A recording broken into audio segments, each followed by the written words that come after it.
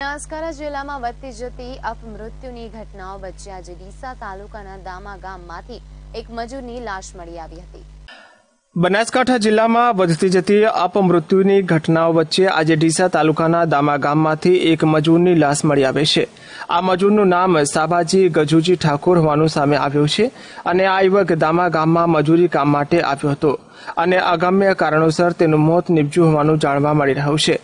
આજે સવારના આ મજૂરનો મૃતદેહ મળી આવતા ઘટના સ્થળ પર લોકોનું મોટું ટોળું એકત્રિત થઈ ગયું હતું અને બાદમાં આ અંગે તાલુકા પોલીસનો સંપર્ક કરતા પોલીસે તાત્કાલિક ઘટના સ્થળે પહોંચી મૃતદેહને ડીસાની સરકારી હોસ્પિટલમાં પીએમ અર્થે ખસેડ્યો હતો.